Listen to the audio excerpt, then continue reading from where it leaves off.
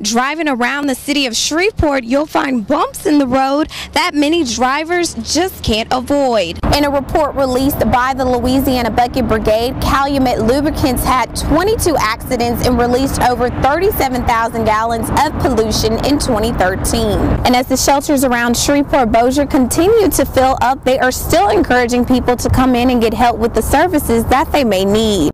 Good evening. Welcome to Fox 33's 2014 election night coverage. I'm Jade Choyce. The polls in Louisiana will be closing shortly, and according to the clerk of court's office, the turnout for today's election was heavy. Caddo commissioners were planning for a crowd of 200 people that turned into a crowd of 1,200 people. With the opening of the final stretch of I-49, drivers will no longer have to detour onto Highway 71 to continue their drive into Arkansas. This project has also made way for at least 19 units to be remodeled from top to bottom. Everything I don't work hard for my uh, 39 years of living, you know, to contribute is pretty much, you know, gone. Thanksgiving Day turned tragic for a Shreveport family after they woke up this morning to their home on fire. It happened in the 400 block of West 62nd Street just before 8 this morning. Fire crews say when they arrived on the scene, heavy flames and smoke could be seen coming from the front windows of the home. The occupants did tell our investigators that they saw fire in the front room around the area of a multi-outlet strip. Homeowner Christopher Brown says his son, his girlfriend, and their baby was in that front room where the fire is believed to have started. When they opened the front door, it was just like a bomb went off. The fire got got powerful and it just wiped the whole house out. Brown says he had only been living in the home for one year, in which during that time he says he put a lot of money into it to reconstruct it. Spent all my money, you know, my life savings to uh, uh, put us in this house. The family was planning on having a big Thanksgiving Day dinner with loved ones, but now they're just leaning on their faith to get through this tragedy. I got to start over again, you know, so, you know, thank God I still have my life. Brown says they're just grateful everyone got out safely and have a reason to count their blessings as they give thanks on this Thanksgiving Day. I'm asking everybody that's living in a house, whether you rent, own, or whatever.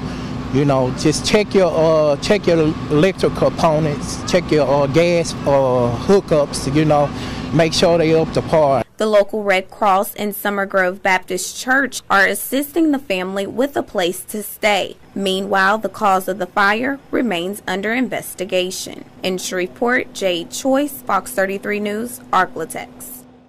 I feel like that it shouldn't it shouldn't have happened up in Minden. Minden have always been a nice little place and stuff like that. The Webster Parish town is shaken after a botched drug deal just outside of Minden claimed the life of a teenager and landed four others in jail. What we believe is, is taking place at this was like uh, an attempted robbery where they were going to lure a drug dealer into them, rob him of his drugs and his money and what happened, it turned sour and went bad, and actually the uh, allured drug dealer actually was, our understanding, is the one that shot Omar Lott. 18 year old Murphy Robertson is the suspected drug dealer and was arrested along with 18 year old Jason Glenn Turk, 17 year old Tango Frazier, and a 16 year old juvenile. Right now, deputies don't know how many times Lott was shot or where he was shot, but say his body did suffer several gunshot wounds. Family members tell officers that Lott had been missing since Sunday, but it was not reported to the police department or the sheriff's office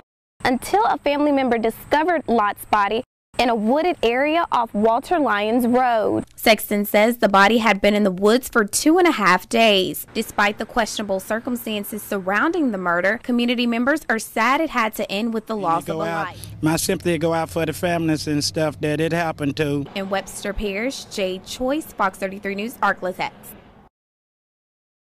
A day before being diagnosed with cancer, Keenan Irving's wife Ashley began writing in a journal as a way to cope with her illness. It was her hope that no one would ever read the journal until she got better. After a six month fight, Ashley passed away with stomach cancer last November. It was after her death that Irving knew he wanted to do something special with the journal. We started doing the art pieces, and in an effort to do something for charity with those art pieces, we figured out a better way to do it would be to release the whole journal and to do a whole charity based around the journal. That's when Irving began releasing excerpts from the journal as a self funded organization to raise money for the Make a Wish Foundation. On the last page of the journal, Ashley had a list of goals and things that she wanted to accomplish when she beat cancer, and one of them was to start a charity.